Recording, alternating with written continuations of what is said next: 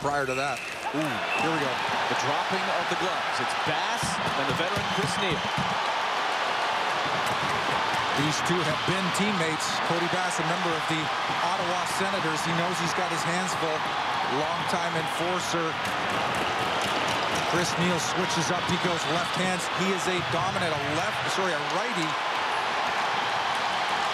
Oh, this is just old school. Two guys, No quarter asked, none given. They're just trading blows. I'll tell you, there were some punches that landed on both sides.